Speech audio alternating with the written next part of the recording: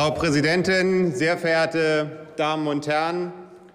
Ich reklamiere gleich zu Beginn meiner Rede auch die Beteiligung der CDU-CSU an dem Erfolg, äh, den die Kollegin Griese gerade eben so richtig herausgestellt hat. Und ich bedanke mich bei den Linken, dass wir heute über diesen Antrag und über Integrationspolitik sprechen können. Uns liegt Integrationspolitik am Herzen. Allerdings äh, der Antrag, der hier vorliegt, ist allenfalls preiswürdig in der Kategorie Recycling. Der Antrag enthält auch nichts, was wir nicht schon einmal von Ihnen gehört hätten, und er enthält alles an Forderungen, was wir von Ihnen schon mal gehört haben. Lassen Sie mich exemplarisch auf drei Punkte eingehen, die Sie vom Bund fordern. Mehr finanzielle Unterstützung der Kommunen ist der erste Punkt. Der zweite Punkt, den ich, den ich eingehen möchte, mehr finanzielle Unterstützung des sozialen Wohnungsbaus. Und drittens, mehr finanzielle Unterstützung beim Ausbau der Kinderbetreuung.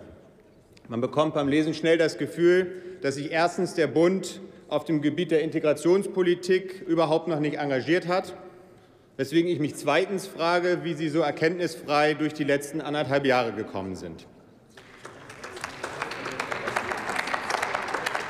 Ich möchte einige Beispiele für das nennen, was wir schon alles auf den Weg gebracht haben. Und ich entschuldige mich schon jetzt bei den Zuhörern. Ihnen werden in Anbetracht der Millionen- und Milliardenbeträge, die ich gleich aufführen würde, die Ohren schlackern. Leider bin ich gezwungen, sie zu nennen, um Ihnen die Absurdität des Antrags, über den wir hier heute beraten, vor Augen zu führen. Kommen wir also zum ersten Punkt Ihrer Forderung, mehr finanzielle Unterstützung für die Kommunen. Wir hatten bereits im Koalitionsvertrag festgelegt, dass der Bund den Kommunen von 2015 bis 2017 jährlich eine Milliarde Euro zur Verfügung stellen wird. Im Jahr 2017 kommen noch einmal 1,5 Milliarden hinzu. Im Juli letzten Jahres hatten sich Bund und Länder darauf verständigt, dass der Bund den Ländern als Kompensation von Mehrausgaben für die Integration von Flüchtlingen bis zum Jahr 2018 weitere 7 Milliarden Euro zur Verfügung stellt. Im November letzten Jahres wurde hier im Bundestag beschlossen, dass der Bund seine Beteiligung an den Kosten der Integration noch einmal deutlich ausweitet. Länder und Kommunen werden mit zusätzlich 6 Milliarden Euro für die Jahre 2016 bis 2018 unterstützt. Zudem wurde auch die Verteilung der ab 2018 vorgesehenen Kommunalentlastungen in Höhe von 5 Milliarden Euro jährlich beschlossen. Das ist eine gewaltige Leistung des Bundes für die Kommunen.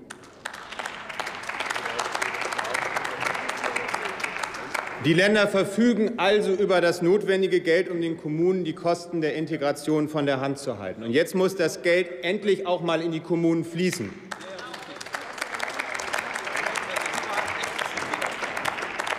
Zweitens kommen wir zu der Forderung der Linken nach mehr finanzieller Unterstützung des sozialen Wohnungsbaus durch den Bund. Richtig ist, dass es Aufgabe des Sozialstaates ist, Menschen aus sozial schwachen Verhältnissen zu unterstützen und für Wohnraum zu sorgen.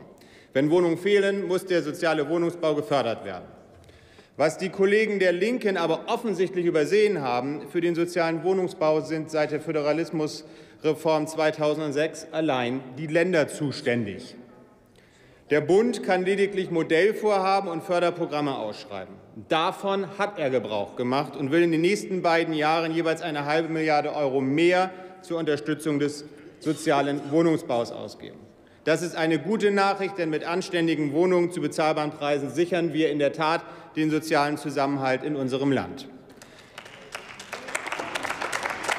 Bereits zum zweiten Mal in Folge werden die Mittel damit um eine halbe Milliarde Euro aufgestockt. Erst zu Beginn des letzten Jahres hat der Bund die Kompensationsmittel auf über eine Milliarde Euro fast verdoppelt. Diese werden den Ländern für den sozialen Wohnungsbau zur Verfügung gestellt. Ab dem 1. Januar 2017 stehen damit über 1,5 Milliarden Euro aus Mitteln des Bundes für den dringend benötigten sozialen Wohnungsbau zur Verfügung. Klar ist aber auch, dass die Mittel, die der Bund gibt, von den Ländern aufgestockt werden müssen. Kommen wir zum dritten und letzten Punkt, auf den ich eingehen möchte von Ihren Forderungen, mehr finanzielle Unterstützung bei der Kinderbetreuung. Sehr interessanter Punkt, auch für mich ganz persönlich, als Vater eines kleinen Jungen, der in der Kita ist, Äh, ich habe äh, nach dieser Rede sicherlich einen anderen Blick auf äh, das Geschehen. Auch der Ausbau der Kleinkindbetreuung, Sie können es sich sicherlich denken, was jetzt kommt, fällt in die originäre verfassungsrechtliche geregelte Zuständigkeit der Länder. Gleichwohl hat der Bund das Betreuungsprogramm für unter Dreijährige über das Programm Kinderbetreuungsfinanzierung bis 2014 mit 5,4 Milliarden Euro gefördert. In dieser Wahlperiode wird das Programm nochmals um eine Milliarde aufgestockt. Für den Betrieb von Kinderkrippen und Tagespflegestellen werden seit dem Jahr 2015 jährlich 845 Millionen Euro zur Verfügung gestellt.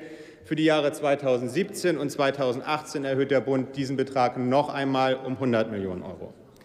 Zudem fördert der Bund mit weiteren 400 Millionen Euro förderte im Zeitraum 2011 bis 2015 die Sprachförderung in den Kindertagesstätten. Dieses Programm wird seit 2016 fortgesetzt. Der Bund stellt dafür bis 2020 Mittel im Umfang von bis zu einer Milliarde Euro zur Verfügung. So können zusätzlich bis zu 7.000 Halbtagsstellen für Fachkräfte in den Kindertagesstätten und in den Fachberatungsstellen ähm, geschaffen werden. Und das ist auch noch nicht alles. Derzeit wird im Bundestag über ein Gesetz beraten, mit dem das Programm Kinderbetreuungsfinanzierung weitergeführt werden soll. Damit sollen zusätzliche 100.000 Betreuungsplätze für ältere Kinder bis zum Schuleintritt geschaffen werden. Für dieses neue Programm bis 2020 sollen insgesamt 1,1 Milliarden Euro durch den Bund zur Verfügung gestellt werden. Und ich will das dann auch nur noch mal am Rande erwähnen, damit wir ein ganz vollständiges Bild bekommen. Im Bereich Familie und Bildung belaufen sich die Entlastung des Bundes für die Länder in den Jahren 2010 bis 2019 auf über 50 Milliarden Euro. Sehr geehrte Kolleginnen und Kollegen der Linken, Sie sagen, eine erfolgreiche Integrationspolitik erfordert eine soziale Offensive für alle. Und ich sage Ihnen, nichts anderes machen wir seit Jahren von Seiten des Bundes. Und zwar als Daueraufgabe und nicht als effekthaschenden Antrag, den man kurz vor einer Bundestagswahl hier ins Plenum einbringt. Und äh, wer hier von unzureichender finanzieller Unterstützung redet, oder man könnte auch sagen schwadroniert, dem ist hier wahrlich nicht zu helfen. Ich sage Ihnen aber auch, eine erfolgreiche Integrationspolitik erfordert, dass wir uns vorrangig auf Flüchtlinge mit guter Bleibeperspektive konzentrieren. Nur der darf bleiben, der tatsächlich einen Schutzanspruch erhält. Laut einer aktuellen McKinsey-Analyse für die Regierung ist davon auszugehen, dass die Zahl der Ausreisepflichtigen bis Jahresende auf 485.000 Menschen ansteigen könnte.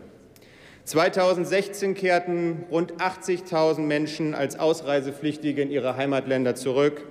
Davon waren gerade einmal 24.000 Abschiebungen. Und schuld an diesen minimalen Zahlen sind vor allem rot-grün regierte Bundesländer und Berlin, wo sie mitregieren, ist da die ganz unrühmliche Nummer eins. Sie verfahren leider nach dem Motto einmal in Deutschland, immer in Deutschland. Bedenkt man, dass die Kosten für einen Ausreisepflichtigen 670 Euro im Monat betragen, liegen damit laut der genannten Analyse die Gesamtkosten in diesem Jahr bei rund 3 Milliarden Euro. Geld, das bei konsequenter Rückführung in der Sozial- und Integrationspolitik zusätzlich für die wirklichen Fälle, die schutzbedürftig und hilfsbedürftig sind, zur Verfügung stünde. Herzlichen Dank. Vielen Dank, Kollege Helfrich. Und die letzte Rednerin in der Debatte, in dieser Debatte, Waltraud Wolf für die SPD.